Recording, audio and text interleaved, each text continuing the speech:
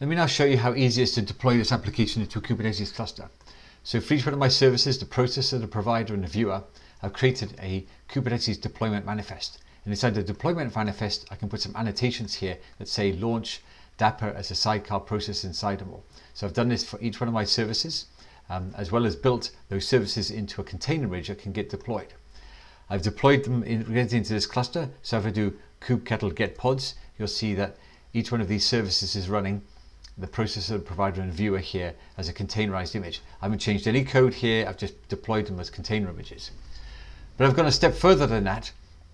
I've actually taken the components here now and substituted them. So rather than using Redis for my local state store, I've now replaced this with Azure Service Bus to do the pub sub communication for the process tweets. And rather than using Redis as my local state store, I've instead used Azure Table Storage for saving my tweets that have been processed from the uh, from the, the, processor.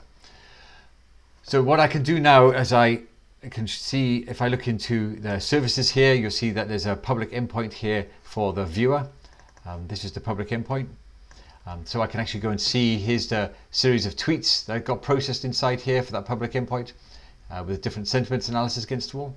I can also go and look at my service bus here and see the process tweets that have been done.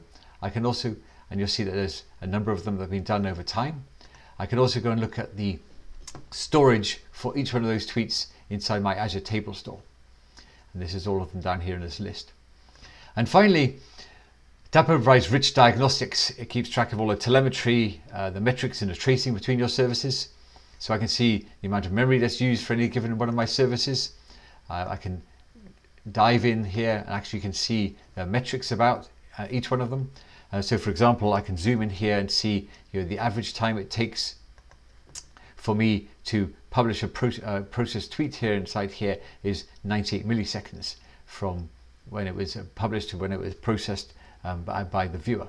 So this diagnostics view here allows me to do uh, rich diagnostics when I do uh, debugging or when I say view my application um, to find out what's happening inside of it all. So this just shows how straightforward it is to deploy Dapr inside a Dapr application into my Kubernetes cluster.